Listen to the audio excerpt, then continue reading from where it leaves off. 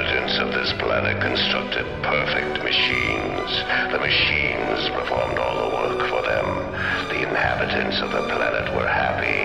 Their only function was to control these machines. But even though this was their only function, it became a chore. So man built me so that I might control the machines and be able to construct new ones, thereby inheriting all abdicated responsibilities.